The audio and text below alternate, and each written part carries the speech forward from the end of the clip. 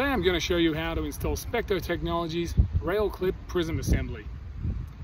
Made up of two components, we have a high quality 25 millimeter prism connected to an anodized aluminum L-bar. The rail clip is two parts, stainless steel, connected by stainless steel bolt. And we have another stainless steel bolt connecting the L-bar to the bracket. The tools I have for installation today, socket wrench and two Allen keys. Let's prepare the rail. First I'm going to remove the prism, keep that safe, put it out of the way, give me a little bit more room to work. Next, I'm going to scrape away some of the ballast underneath, give me room to work and room for the clip to go underneath.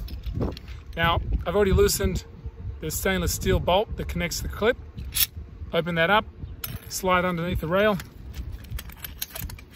clip on one side, clip on the other.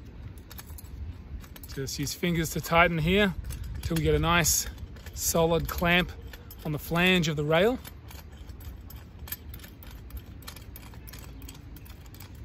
All the way in, socket wrench,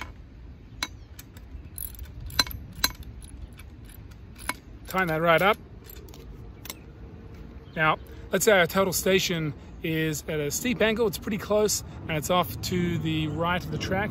I'm gonna angle this up to the appropriate angle, lock that in with our Allen key. Now, let's put the prism back on. Just gonna screw that in finger tight. Say the total station is off to the right.